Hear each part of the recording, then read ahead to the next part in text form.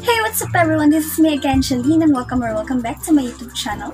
And if you're new here, don't forget to click the subscribe button and the bell button beside it para naman ma-notify kahit meron tayong mga bagong updates, tips, tricks, and hacks dito sa YouTube channel ko. For today's video, magkakaroon tayo ng panibagong tutorial at, ituturo ko naman sa inyo kung paano dadami ang data sa Globe. By the way, hindi sponsored, so na-discover ko lang tong tricks na to. I-share ko nga sa inyo na pwede tayong mag-load ng 5 gig mobile data for only 50 pesos, 8 gig mobile data for only 90 pesos, 10 gig mobile data for only 120 pesos, and 11 gig mobile data for only 140 pesos. So, napakasulit nito kasi biruin mo magkakaroon na tayo ng 5 gig mobile data for only 50 pesos. Samantalang kapag mag-aano tayo ng Grocer 50, di ba 2 gig lang yon and dito magkakaroon tayo ng 5 gig. Uh, and dito meron tayong 90 pesos lang, 8 gig na agad. And if you're interested, just keep on watching.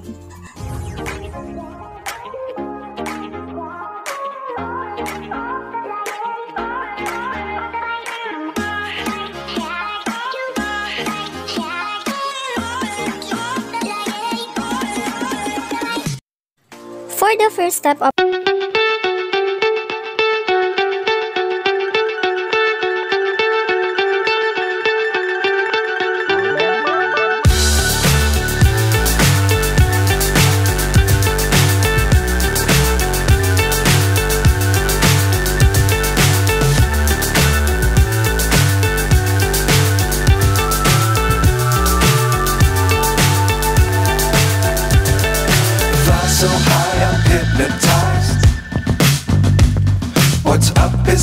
what's left is right.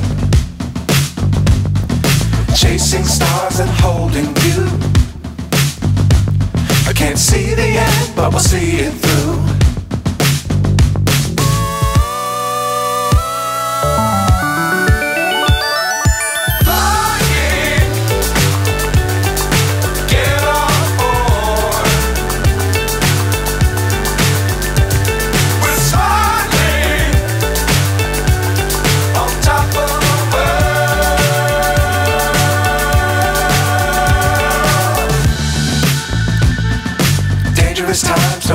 Too high.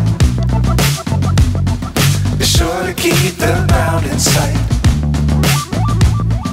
Fly forever if you keep it tight. Love the world, but keep the sky on your mind.